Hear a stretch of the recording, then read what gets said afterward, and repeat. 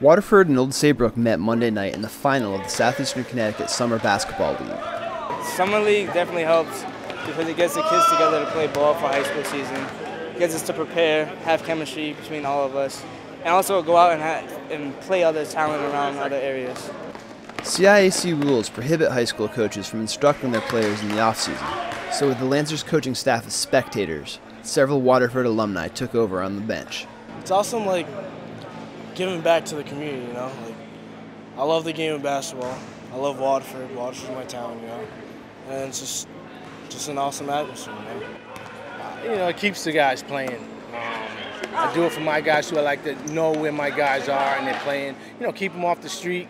Have, you know, they get excited. You know, two nights a week they're playing here, and um, Tuesday nights they play in the passing league, so it keeps them busy throughout the summer. Waterford's lack of size and depth they only had five players dressed for Monday's game.